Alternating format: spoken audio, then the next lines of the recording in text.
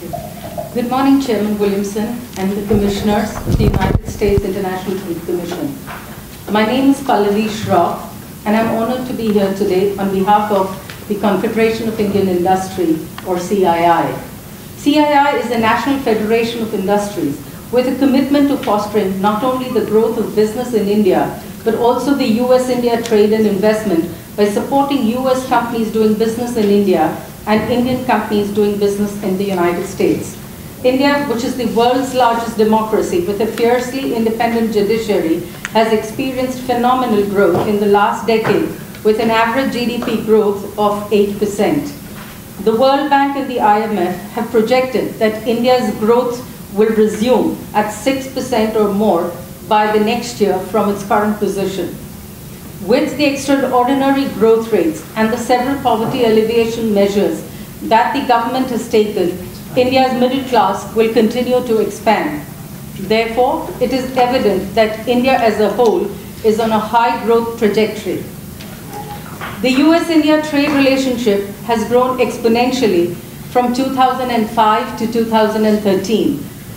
The total merchandise trade grew from 26.72 billion to 63.70 billion, of which the US merchandise exports to India grew from 7.9 billion to 21.8 billion, an impressive jump of 175%.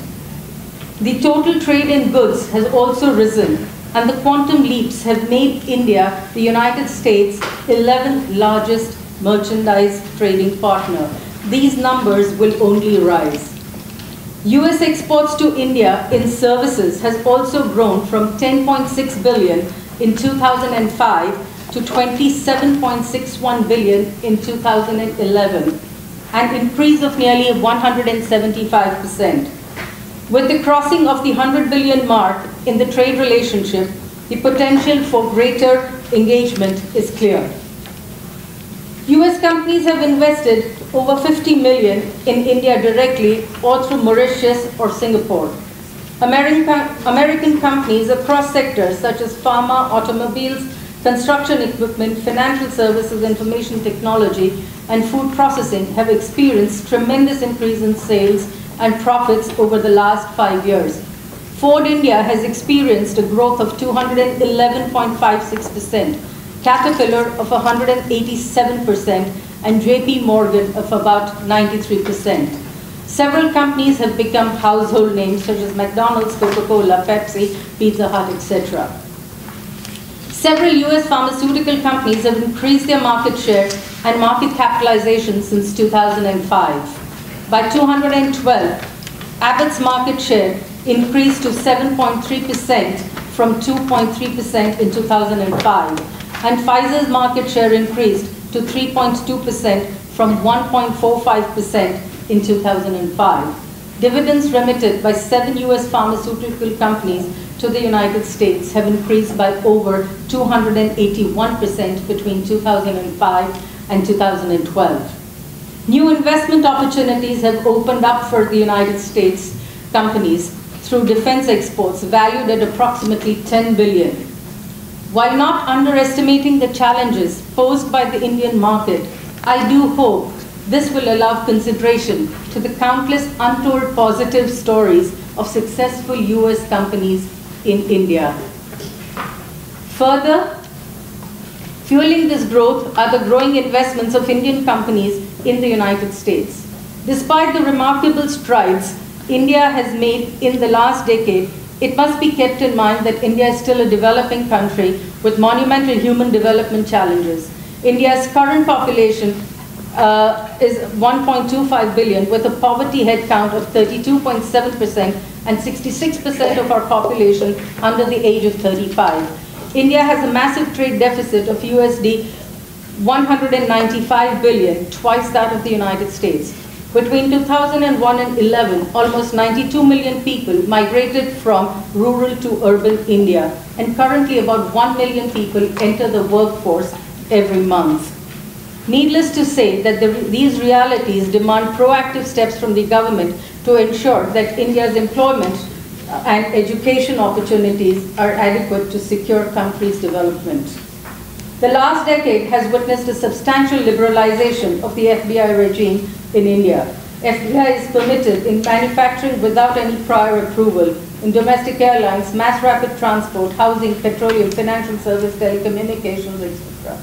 India has been rated among the top investment destinations globally by international bodies, including the World Bank and the UNCTAD. According to India's Ministry of Commerce and Industry, cumulative global FDI inflows in, from 2002 to 2012 stand at 164 million. The United States accounts for 6% of the total FDI flows into India. Coming to the various concerns that the US companies have expressed, let me state just one thing. When, United, when Secretary Kerry came to India in 2013, he raised four issues in particular. Intellectual property protection, local content restrictions, caps on FDI, and cross-border taxation. I would like to highlight that India has addressed three of these four concerns. On the tax environment, United States companies have expressed concerns about India's taxation system, in particular the use of transfer pricing, general anti-avoidance rules, and retrospective amendments. In recognition, the government has initiated a dispute resolution panel since 2009 and has since then taken initiatives to defer the GAAR, introduced safe harbor rules and advanced pricing arrangements, and set up a tax administration reforms committee. Today, the multinational companies can choose between the, uh, GAAR, the safe harbor rules, which are now aligned and offer five-year tax certainty. Recent reports suggest that a solution to transfer pricing disputes is underway with 70 US firms hitherto involved in litigation having entered into bilateral advance pricing agreements with the tax authorities. This would ensure that the US and India are on common tax grounds. CII believes that a well-administered safe harbor regime with unambiguous rules is in the interest of India and will arrest the increase in transfer pricing litigation. On the gender, general anti-avoidance rule, the government is sympathetic to Indian industry concerns that GAAR should be applied as an exception rather than a rule and only for abusive transactions. The operation of GAAR has been deferred to April 1, 2015. The Indian government has assured business its commitment to offer a stable and a non-adversarial tax regime and a fair and just dispute resolution mechanism and steps are underway. Coming to local sourcing requirements in retail. According to a CII, Boston Consulting Group report, the total retail business in India is likely to touch 1,250 billion by 2020. Recognizing that the entry of MNCs into India's retail space would help develop the country's cold storage and supply chain systems, the government has opened the multi-brand retail for FDI up to 51% and lifted the FDI cap on single brand retail from 51 to 100% with requirements of local sourcing. Several global giants have already expressed their intention to come into India.